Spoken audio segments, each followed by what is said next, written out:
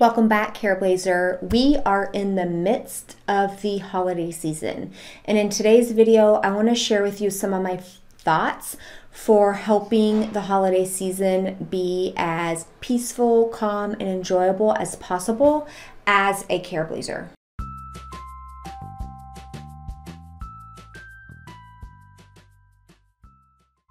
Caring for somebody with dementia around the holidays doesn't mean that you have to give up all of your traditions or all the things you enjoy about the holidays. It doesn't mean you have to dread the holidays, but it does likely mean that you might have to adjust your expectations about how the holidays are going to look and do some planning ahead of time to help make them as enjoyable and as successful as possible.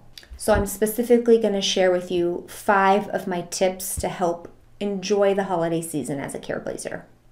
If you haven't already, be sure to download the Careblazer Survival Guide. It's linked below this video. And if you missed the opportunity to join me inside of my care course, I do have a mini course called Manage Caregiver Stress that's available all the time.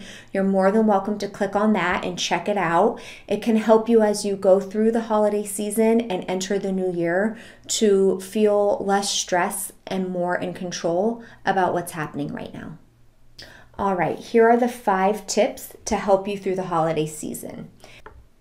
The first one is to adjust and adapt your traditions. So much pain around the holidays can come from no longer being able to do some of the traditions you've been doing for many years. For example, your loved one may no longer be able to leave the home to go watch the Christmas play you normally watch, or you may no longer be able to host Thanksgiving dinner because your dining room has been converted into your loved one's bed, where it, the hospital bed is in the dining room now, or whatever the case may be. Instead of focusing on past traditions and how you may no longer be able to do them, I would encourage you to think about how you can adapt past traditions to meet your loved one with their abilities or to come up with totally new traditions altogether. So if you and your loved one always go holiday shopping together and your loved one's no longer able to able to leave the house, perhaps you two have a day of in-home shopping where you flip through catalogs or magazines or you shop online together. So you're taking a tradition that you used to do and you're adapting it to meet your loved one's ability level now. Same activity, done in a different way with the same ultimate goal. Don't let the fact that your loved one can't do um, past traditions stop you from exploring new traditions or adapting traditions. Being able to adjust and adapt to your loved one's ability levels will help you enjoy the holiday season so much more than trying to force something that your loved one's no longer able to do or by just getting rid of any attempt to have a tradition altogether. My second idea is to adjust activities with dementia and yourself in mind. Knowing what you know about your loved one's dementia, try to plan activities, the outings around the time when you know your loved one usually functions best and when you tend to be at your less stressed or fatigue level. For example, if your loved one normally naps in the afternoon, you might want to avoid activities or decline activities that are scheduled right in their nap time. If your loved one usually goes to bed early, then you might want to reschedule or avoid committing to activities that occur in the evening. This might seem like common sense as you're listening to it, but sometimes when the holiday season comes, we sometimes try to just go through the season without thinking too much about the dementia or about the toll it might have on, on you, that all of a sudden what was supposed to be an enjoyable moment or a positive future memory all of a sudden becomes an added responsibility and a stressor. So it might take some flexibility, but as much as possible, you want to try to keep the routine that your loved one is used to in place around the holiday activities and scheduling. Also, make sure you're being honest and checking in with yourself. Your family might want to add another activity level to the holiday schedule, and your loved one might be able to engage in that activity level. But check in with yourself. Given the season, given everything that's going on, Is this perhaps a time when you would just prefer to maybe take that day off or take that weekend off than feeling forced or pressured to do every single activity that you receive an invitation for? My next idea is to do less without the guilt. It can be pretty overwhelming if you have the expectation of yourself that you have to keep up with whatever holiday expectations you've had in the past.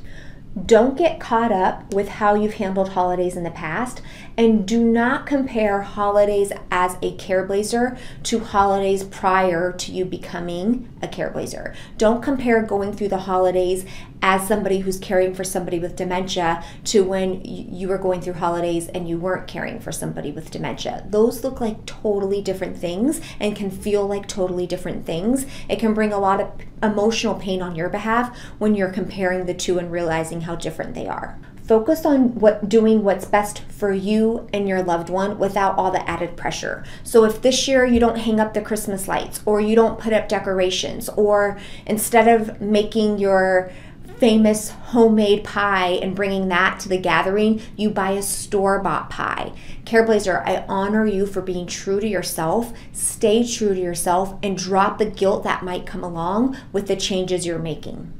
Keep you and your loved ones' well being the top of the priority list as you go through this season.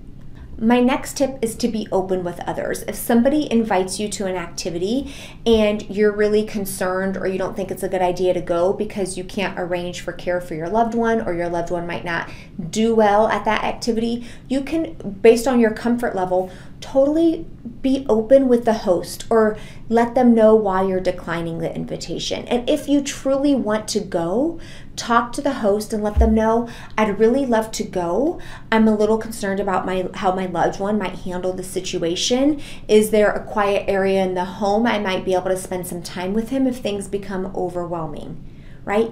You'd be surprised at their willingness to be able to adjust some things, but it does take some planning and preparation ahead of time rather than not saying anything, showing up, and then having to deal with it on the fly in that moment. And then finally, my tip is to accept help or gifts when it's offered. I know it can be incredibly difficult to ask for help, it can be incredibly difficult to um, accept gifts or even tell people what you would like.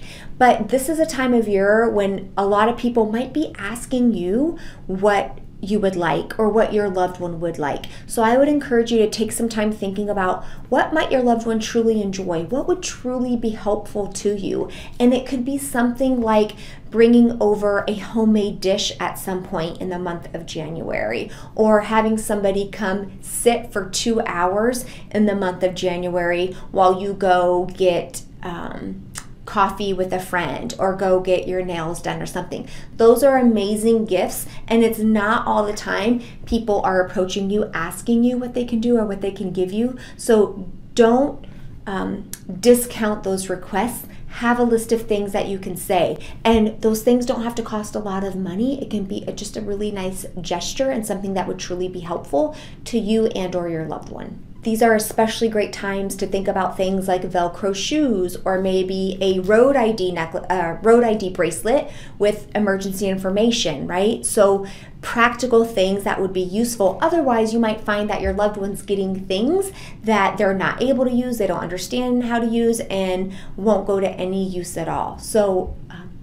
have some ideas in mind if that question happens to come up for you. Keep in mind the true spirit of the season.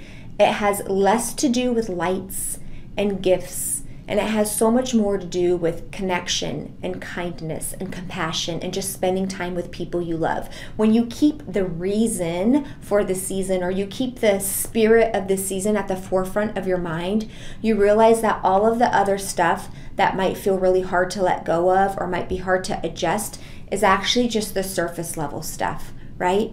Doesn't matter where that holiday dinner is happening so long as you get to be with family.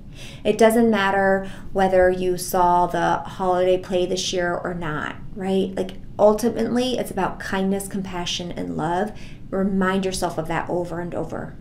Imagine how much more you can enjoy the season by just being present and realizing the season's about love rather than keeping the focus on the decorations and the tree and the gatherings. Just realizing you can strip all that away and still be present and enjoy the season for what it is.